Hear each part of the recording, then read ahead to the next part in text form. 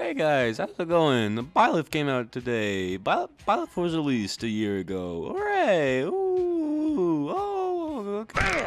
Serious crap!